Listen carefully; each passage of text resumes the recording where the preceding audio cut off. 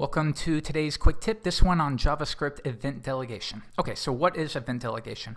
Imagine that you have 50 anchor tags on the page and you want to attach a click event to them. That can be time consuming because uh, the engine has to go through the entire DOM and add a click event to every single one of those anchor tags. You can even imagine it further. What if you have 500 anchor tags? That can be really time consuming.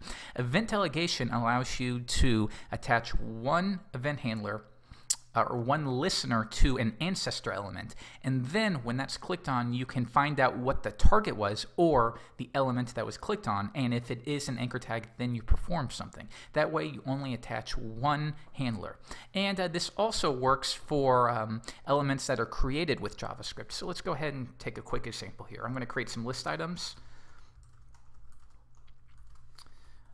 Uh, don't worry about this too much. I'm just getting set up. Okay. And now we are going to add a, um, a, a pretty much a button. So, okay. And now let's get going. Uh, we'll use jQuery here, uh, just because we only have a few minutes.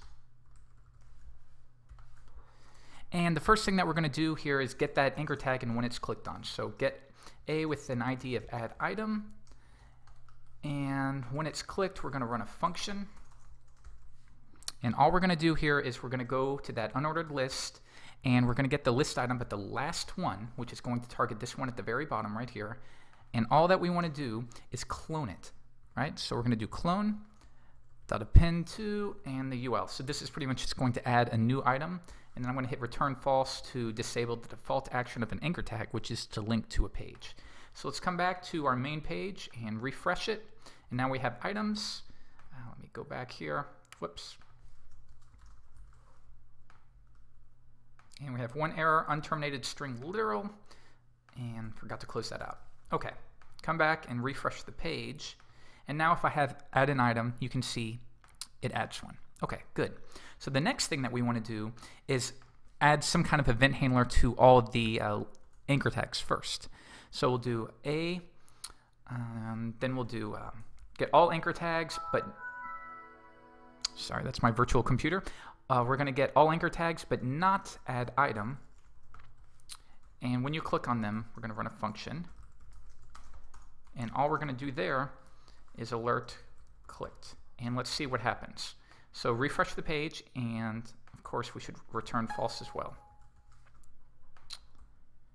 Okay, click on an item, and we get clicked clicked, but now let's add a couple new items. And now if I click on the one at the bottom, nothing happens. And it's because we've bound an event handler to those anchor tags. So we created new ones, but we never actually added another event handler to the new ones. So with event delegation, we can just do it to the parent, which is the UL, and then it will work automatically. So click,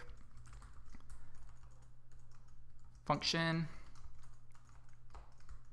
and what we're going to do here is um, we'll say if um, e.target. The target is an anchor tag, meaning the target, the item that was clicked on. Let me clean this up right here. We're just going to do alert clicked.